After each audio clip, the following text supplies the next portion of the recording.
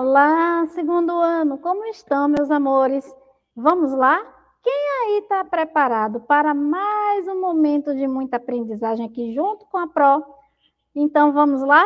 Olha só, nossa aula de hoje é na área de ciências humanas e o nosso tema é extrativismo. Bom, quem aí lembra? Levanta aí a mão para prover quem está bem ligadinho aí nas nossas aulas. Quem aí lembra que nós começamos a falar sobre as atividades econômicas do campo.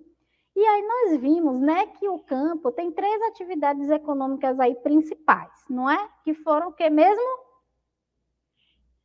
A agricultura, a pecuária e o extrativismo. Então nós já tivemos, né, uma aula aí falando dessas atividades, depois a prof fez né, uma aula separada aí falando de cada atividade econômica. E hoje nós estamos aí, né, falando da última atividade que estava faltando, que é o extrativismo, certo? Então vamos ver? Bom, olha lá nas imagens que a Pro está mostrando. Vocês já conhecem, já viram essas imagens em algum lugar? Conhecem aí essas atividades? Hum, muito bem, ó. É o extrativismo, o pró. E por que essa primeira imagem aqui? Tá diferente, tem uns caminhões aí bem grandões, enormes. Ali tem, tem terra. Tá diferente daqui do rapaz que tá pegando essas frutas. Aqui já tem outra pessoa pegando peixe. Por que essas imagens são tão diferentes, pró? Se é uma atividade só? Exatamente. Todas essas imagens, segundo ano, são né, sobre o extrativismo, mas existem né, tipos diferentes de extrativismo, tá? O mineral, que é essa primeira imagem que está aparecendo aqui, o, o, vegetal, né, que é a segunda imagem, e o animal, que é essa última imagem. Mas calma, que a prova vai explicar tudo direitinho, tá? O que a Pro quer que o segundo ano entenda nesse momento é que existem, né, todas essas imagens aí que são diferentes representam aí o extrativismo, tá? Então, Pro, quando foi que o extrativismo começou aqui no Brasil? Como foi que as pessoas, Pro, tiveram essa ideia aí de é, trazer essa atividade econômica? Então, ó, é, o extrativismo no Brasil começou com a chegada dos portugueses, né? Quando eles chegaram aqui no Brasil, eles viram que aqui tinha uma grande variedade, uma grande quantidade, na realidade, né, de uma árvore chamada pau-brasil, que é uma árvore que eles conseguem extrair aí um corante, né, para fazer aí tinta para tingir tecido, que era uma das atividades econômicas aí de Portugal na época, tá bom? Então, o que é que eles começaram a fazer? Eles começaram a é, extrair o pau-brasil aí, o, esse corante né, do pau-brasil, extrair o pau-brasil aí é, para levar lá para Portugal. E na imagem, a Pro mostra, ó, são, ele na época, ele é, colocou né, os índios para fazer esse trabalho. Lembram que a Pro falou que quando os portugueses chegaram no Brasil, já tinha um povo né, vivendo aqui nessa terra que era justamente ó, os indígenas. Então, é, eles é, tentaram, inclusive, escravizar né, os índios para fazerem aí esse trabalho, tá? Mas essa questão a gente vai discutir em uma outra aula que a prova vai contar essa história direitinho. Mas o extrativismo, segundo ano, foi a primeira atividade econômica, tá? Do, do Brasil aí, é, quando Portugal é, começou aí essa exploração do pau-brasil. Inclusive, ó, é uma curiosidade, se o segundo ano, né, ainda não sabia, vai ficar sabendo agora, não vai mais esquecer. O nome do nosso país, Bra Brasil, é, veio justamente dessa árvore aqui, ó, pau-brasil. Como a gente tem uma grande quantidade de pau-brasil aqui, né, então o nosso país, né, se chama Brasil justamente por conta dessas árvores, certo? Então vamos continuar, tá bom? E relembrando, ó, oh, Pro, mas a senhora está falando aí de extrativismo, está falando que é uma atividade econômica que acontece aí principalmente lá no campo, Está falando que o primeir, foi a primeira atividade econômica do Brasil, lá com a exploração do pau-brasil, mas pro o que é mesmo extrativismo? Então, ó, o segundo para o segundo ano lembrar, tá? O extrativismo é a atividade econômica onde se retira materiais da natureza para fins comerciais. Então, o extrativismo nada mais é que eu vou pegar, né, alguns, alguns materiais ali da natureza. A prova daqui a pouco vai mostrar para vocês quais podem ser esses materiais. E existem vários, além desses, que a prova vai mostrar, tá bom?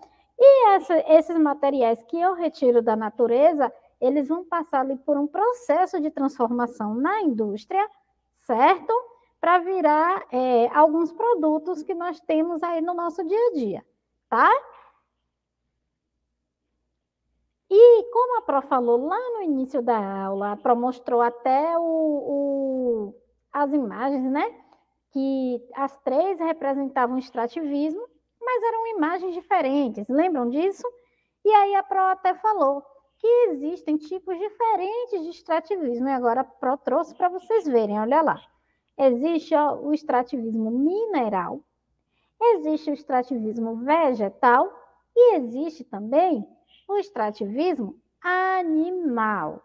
A gente vai ver cada um deles separadamente para o segundo ano entender bem direitinho, tá bom? Então vamos lá. Ó, vamos começar aí, ó, com o extrativismo mineral, tá? Para o que é o extrativismo mineral? É a atividade econômica que extrai minérios, tá? Por isso que chama mineral, porque ele vai extrair minérios dos solos, né? dos rios e dos mares, tá bom? Então, toda vez que o extrativismo né, tiver extraindo, é, tiver, é, alguém tiver ali retirando algo ali do solo, é, do rio ou do mar, tá? É, é um extrativismo ali mineral. Ou pró, mas não tem extrativismo animal também no rio e no mar? Tem. Nós vamos ver, tá? Que nos rios e nos mares, nós também temos o extrativismo animal. Mas aqui, ó, quando a gente fala do extrativismo mineral nos rios e nos mares, são as riquezas que estão lá no fundo, porque lá no, no, fundo do mar nós temos também areia, não é verdade? Assim como no fundo do rio. Então, são essas riquezas que estão é, no solo, lá abaixo da água, não é do peixe que nada da, na água que nós estamos falando nesse momento, certo? Bom, Quais são esses produtos aí, esses minérios que podem ser extraídos é, do solo, é, da, lá do rio e do mar? Pode ser o ferro, pode ser o petróleo, manganês, bauxita, níquel, prata, ouro, ou até mesmo, olha lá, pedras, ó, preciosas, ó. É muito comum, né? a gente vê, mesmo, eu mesma já vi em televisão algumas, até em novelas que falam aí de, de extrativismo, das pessoas que trabalham ali em garimpos, né, que procuram diamantes ali no rio, nas peneiras, não é verdade? Então, é, as pedras preciosas também, né, o diamante é uma dessas pedras preciosas, como a Pro trouxe aqui na imagem, é, então, existe, existe também o extrativismo das pedras preciosas, tá bom? Já o extrativismo vegetal, olha lá, consiste em recolher frutos, madeira e raízes da natureza, tá? Também é possível retirar resinas e o látex de certas espécies de árvores, e aí esse látex vai ser transformado em cera ou borracha, tá? é, o, na verdade, a resina é transformada em cera e o látex é transformado em borracha. Então, era o que acontecia aqui na época que os portugueses chegaram, tá? Na exploração do pau-brasil. Então, é, eles extraíam aí a, a tinta que tinha nessa árvore, o corante, né, para atingir tecido, e eles também utilizavam a própria madeira para a fabricação, né, de outros produtos, certo? era um extrativismo vegetal, tá bom? E olha lá, o extrativismo ó, animal, tá? Que se resume à caça e à pesca, tá bom? A caça de animais é, silvestres é proibida em vários países, certo? Segundo ano, aqui no Brasil, ela só é permitida, né, nas comunidades indígenas, tá? Ou regiões onde é a única maneira é, de se obter, né, é, proteína animal, de se obter alimento. Por que a caça é proibida? Porque nós temos aqui no Brasil várias espécies de animais que estão ameaçadas de extinção por conta de muitos problemas ambientais que nós temos. Então, para proteger é, os animais, é, a caça não é permitida, tá certo? É, a não ser para os indígenas, né? Porque também é uma questão cultural deles, né? Da alimentação, ou é, em comunidades onde as pessoas realmente vivem, né? Da caça. Mas, de maneira geral, o extrativismo animal, quando nós falamos aqui no Brasil de extrativismo animal, nós estamos falando da pesca, tá certo?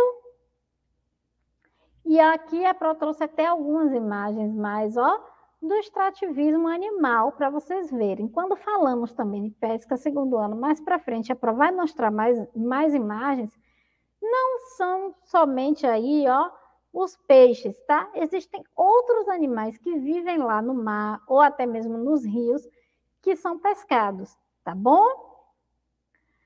Bom, e aqui na Bahia, Pro, que é o estado onde nós moramos, até mesmo aqui é, na região de Feira de Santana, é, é exercida, Pro, essa atividade do extrativismo, porque nós já vimos, né, que Feira de Santana é, é uma região que tem uma agricultura muito forte, inclusive a Pro já falou sobre isso, né, que nós temos aí, no, principalmente aí nas áreas rurais, nos distritos, é, os, os agricultores, os pequenos agricultores, que são as pessoas que plantam, e a gente viu até aquela questão ali da agricultura familiar. Lembram que são as pessoas que plantam para a própria família, ou é, o pequeno agricultor que, que também, né, às vezes ele planta para a família, mas ele também utiliza uma parte ali para vender. Nós vimos que na nossa própria merenda escolar também, é, nós consumimos aí vários produtos agrícolas que vêm da agricultura familiar. Nós já vimos também que a região de Feira de Santana tem é, uma pecuária muito forte. É, a pecuária é muito importante, tanto é, por questões né, culturais aqui da cidade, como também para a economia, como por questões históricas. Nós vimos que a pecuária foi essencial aí na criação de Feira de Santana. Lembram disso? E o extrativismo pro, quando a gente fala de extrativismo, aqui em feira também tem, como é que vai funcionar? Olha lá. Aqui na Bahia, nós temos né, algumas empresas que trabalham aí com extrativismo é, mineral, principalmente é, a extração do ouro, tá bom? Então, nós temos aqui ó, a exploração do ouro em Santa Luz, e temos uma cidade, é, a cidade ali, né, de Teofilândia e Barrocas, que tem também uma mina, né, chamada Fazenda Brasileiro, Mineração Fazenda Brasileiro, que é da empresa Yamana Gold, tá?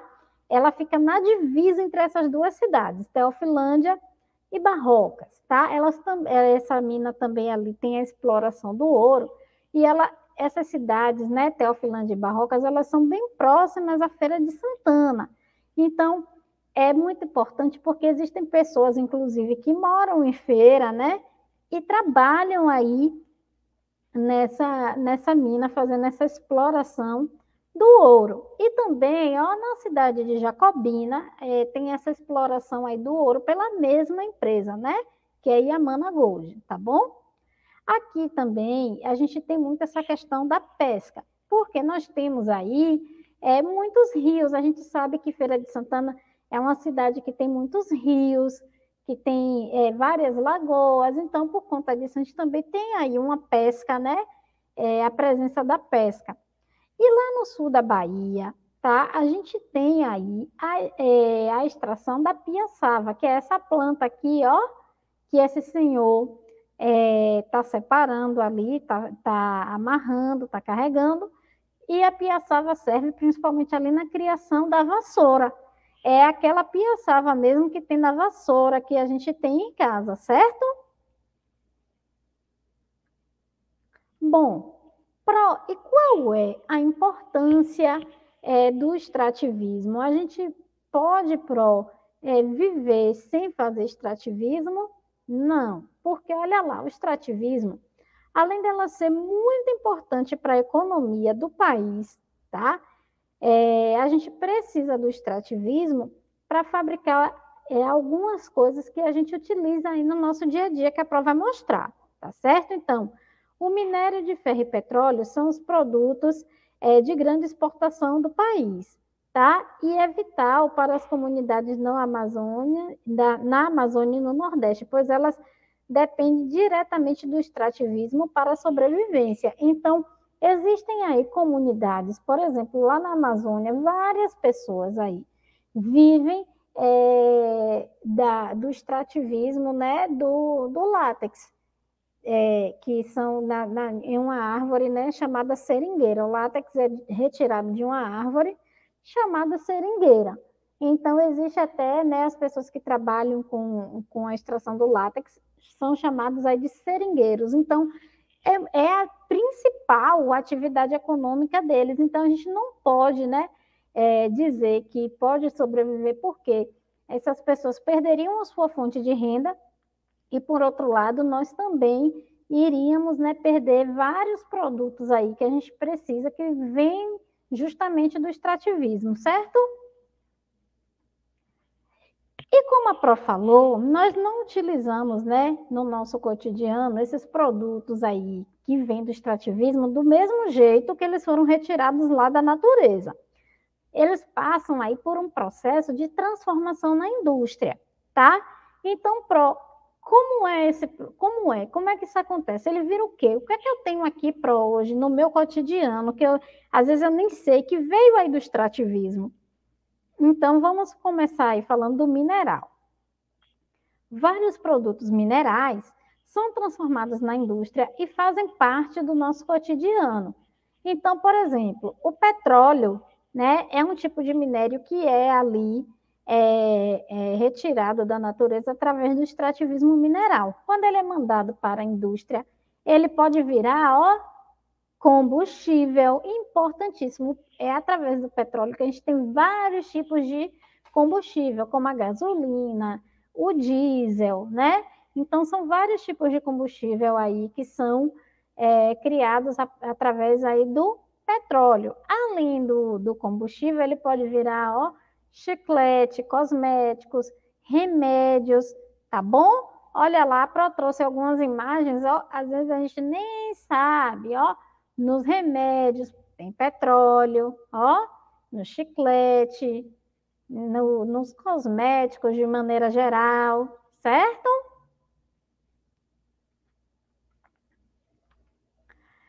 Já é, no extrativismo vegetal, como é para essa transformação?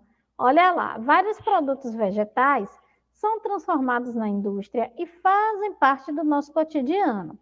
O látex, que é retirado lá da seringueira, é utilizado na fabricação de borracha e outros produtos, né, feitos de borracha, como pneus, luvas, etc. Então, ó, é, a gente tem aí, retirou lá o látex né, da seringueira, vai transformar em vários produtos aí de borracha, como a própria borracha que a gente usa na escola para apagar, é, para apagar a atividade, os pneus dos carros, dos aviões, os pneus, né, de forma geral, as luvas de borracha, tem é, alguns tipos de balões, né, por exemplo, esses que tem aqui, ó, esse brilho que também utiliza, né? O látex e por aí vai, certo? E os, é, os produtos aí do extrativismo animal, eles fazem parte da nossa alimentação, tá bom? Então aqui, ó, a Pro trouxe o exemplo aí do peixe, porque nós vimos que aqui no Brasil a maior prática aí, né, que inclusive é liberada por lei do extrativismo animal, vem da pesca, tá? Então a Pro trouxe o peixe, mas a Pro, olha só, trouxe ali outros frutos do mar. Para o segundo ano também perceber que o extrativismo não é só, é, o extrativismo animal não é só do peixe, é de todos os frutos do mar, né? quando o pescador sai ali para pescar. Então, aqui a gente tem vários exemplos, ó, ostra, camarão, o polvo, né?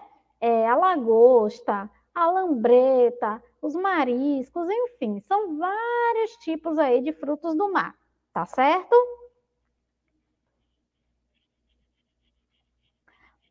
Pro, e quem são os profissionais, as pessoas que trabalham aí é, nesse ramo, nessa profissão do extrativismo? Então, vamos ver separadamente aí, tá? No extrativismo mineral, nós temos aí vários, né, é, profissionais, tá bom? Então, nós temos ali o geólogo, tá? Que é um profissional que, que compreende ali a formação do solo, qual é o minério que vai ter nesse solo, tá? O engenheiro de minas, que é a pessoa ali responsável por todo o processo de exploração naquela mina, né? Como é que vai abrir a mina, como é que vai fechar, depois que aquele minério acabar, tá certo? O técnico em mineração, que auxilia ali o engenheiro, o garimpeiro, o garimpeiro que já é ali um trabalho né, mais informal, na área do extrativismo, mais informal, tá? Geralmente, é, nas grandes empresas de extrativismo mineral, nós não temos aí os garimpeiros, tá? Geralmente os garimpeiros é, muitas vezes trabalham até mesmo por conta própria, procuram as pedras e quando acham, vendem, tá certo? Mas nós poderíamos citar também outros profissionais ainda, né? Topógrafo, que é a pessoa que é responsável por marcar ali a terra, o tamanho da terra.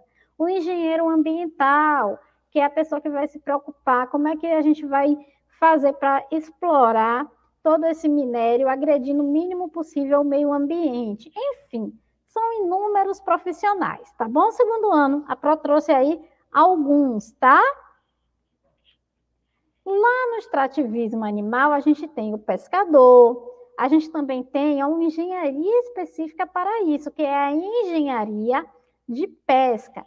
Inclusive, né, na engenharia de pesca, é, as, é, as pessoas conseguem né, determinar, inclusive, o tempo da pesca. Porque, Pro, é, existem épocas onde os pescadores não podem pescar, porque são épocas, inclusive, de reprodução dos peixes, onde eles não podem ir para o alto mar. E aí eles recebem um benefício ali, né, uma ajuda do governo, já que eles não estão pescando. E aí são os, os engenheiros né, de pesca que vão ver né, naquela região quais são as espécies de peixe, se está na época de reprodução. Então, ele vai auxiliar aí é, esses pescadores, tá certo? E no extrativismo vegetal, nós temos aí a exploração de vários frutos, árvores, enfim. O profissional mais conhecido é o seringueiro, né? Que vai explorar aí, como a Pro já falou, látex, que vem lá das seringueiras. Mas existem outros frutos que podem ser explorados, tá bom? Bom, é, o, o extrativismo, segundo ano, ele pode causar impactos ambientais, tá? Ou seja, pode causar danos ao meio ambiente. Pró. Mas e aí, pró? A gente precisa do extrativismo. E como é que faz?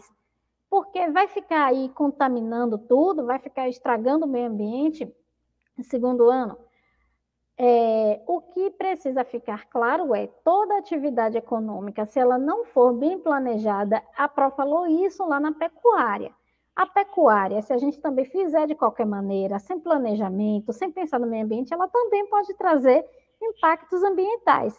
Mas nós não podemos sobreviver sem a pecuária, certo? Porque ela é importante para a economia, ela é importante para a alimentação, tá? A mesma coisa no extrativismo. Ele é importantíssimo. Agora, ele precisa ser pensado, ele precisa ser feito de uma maneira consciente, pensando no meio ambiente e também pensando nas pessoas. Mas quando isso não acontece, Pro, quais são as consequências? Ó, pode haver ali a extinção de espécies, a contaminação da água do solo, e justamente que a extinção de espécies ó, pode acontecer é, principalmente pela contaminação da água. Então, é muito comum a água contaminada né, ir lá para os rios e é, matar os peixes que vivem ali, tá?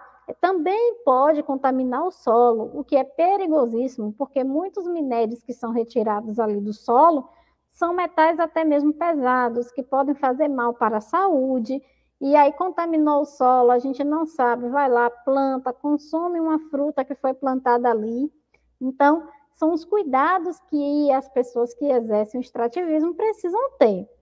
Podem haver desastres ambientais que a PRO vai mostrar ainda, a erosão do solo, que a erosão é a abertura do solo, a PRO já mostrou isso aqui, tá bom? A abertura, né, do solo e a modificação de paisagens, tá? Então, ó, falando aí ainda de desastres ambientais, a Pro trouxe aqui, ó, exemplos de desastres ambientais que ocorreram por causa da, da, de um acidente que teve no estado de Minas Gerais. Aliás, foram dois acidentes. A Pro vai mostrar, ó, tragédias de Mariana e Brumadinho tanto as cidades, as duas cidades, tanto Mariana quanto Brumadinho, ficam lá no estado de Minas Gerais. No ano de 2015, é, no finalzinho aí do ano, quando já estava pertinho de chegar em 2016, é, lá tem uma empresa, né, que explora um, minérios, tá? Então é o extrativismo mineral nesse caso, é, eles tinham ali uma barragem, que é como se fosse um rio, tá? Segundo onde eles iam guardando todo o rejeito, que é o que eles não vão utilizar. Por exemplo, tirou o ouro, que não vai utilizar vai para essa barragem, tá? Que é a gente vai chamar aqui de rio para ficar mais fácil, tá bom? E o que é que aconteceu? Essa barragem estourou, ou seja, transbordou toda a água contaminada que estava ali, lama, tudo que estava ali, e invadiu a cidade. Olha lá a imagem, ó. E aí o que, que aconteceu, Pro? 15 pessoas, infelizmente, né, perderam a vida nessa tragédia e uma até hoje não foi encontrada. Então, olha a responsabilidade que é, é, preciso ter quando se fala de extrativismo. Ele precisa acontecer, mas a gente também precisa pensar que a gente tem que ter essa responsabilidade com o ambiente, porque contaminou água de rio, matou animais, certo? Matou espécies de plantas, tá bom? Destruiu praticamente, ó, derrubou várias casas, várias pessoas ficaram sem ter onde morar, tá bom? Por quê?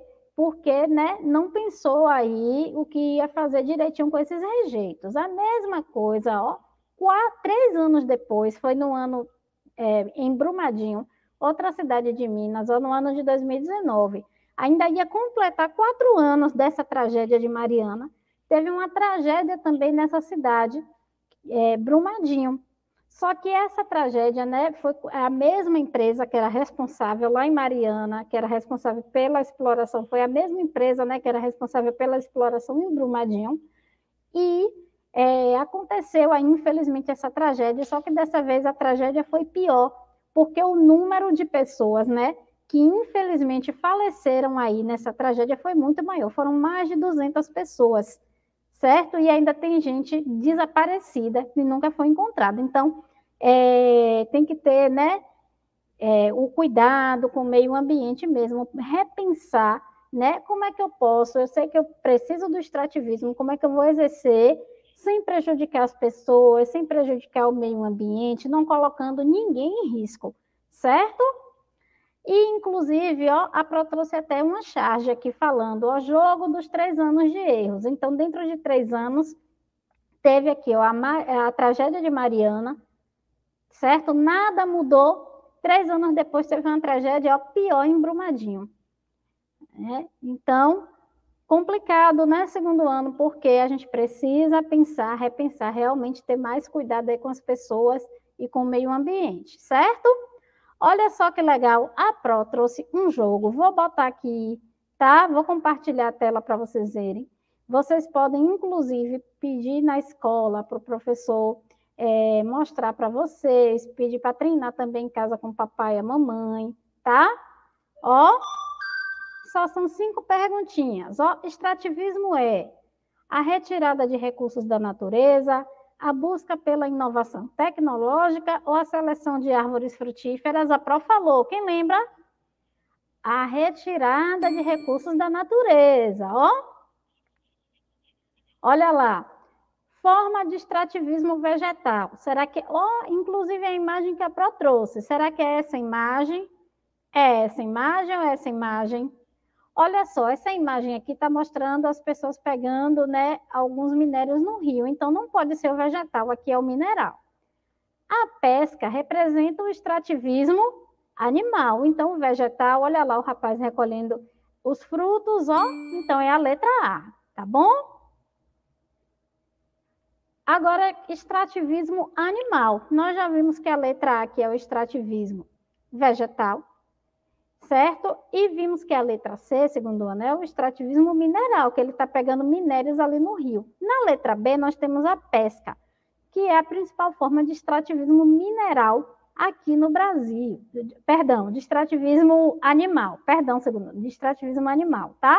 Então, o extrativismo animal aqui representado pela pesca, tá bom? É, vamos lá, a quarta pergunta. Forma de extrativismo mineral. Então, nós já vimos que o extrativismo, ó, é vegetal, na letra A, o rapaz recolhendo os frutos o extrativismo ó, animal aqui representado pela pesca e aqui ó, o garimpo. Lembra que a Pro falou do garimpo? Recolhendo aí esses minérios lá do rio. Então, ó, é o mineral. E a última perguntinha, ó. Assinale a paisagem que foi impactada pelo excesso de extrativismo. Então, será que é a paisagem A, A, B ou A, C? O que é que o segundo ano acha? Muito bem, a B, porque observem que a ela preserva é, tanto a A como a C. Elas preservam aí as águas limpas, a toda a cobertura vegetal. Agora, B, a gente já vê que teve uma modificação, já foi retirada aqui cobertura vegetal, já abriu até uma estrada ali, né, de, de terra. Então, ó, é a letra B, que teve uma paisagem modificada. Pronto. Segundo ano, então já sabem, né? Pode pedir aí ao papai à mamãe, a pró na escola, para jogar com vocês, tá bom? Bom, já sabem, todas as dúvidas que vocês tiverem ainda sobre as aulas, se, se ficou ainda alguma dúvida, pode anotar, tá? Perguntar pro e trocar ideias aí com os coleguinhas, porque também ajuda muito, tá? A tirar as dúvidas. E, ó, um beijo da Pro Tainá, até a próxima aula. Tchau, tchau.